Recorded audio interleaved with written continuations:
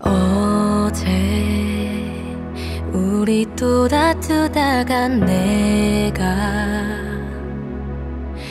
홧김에 내게 소리치며 독하게 먼저 헤어지자고 말했죠.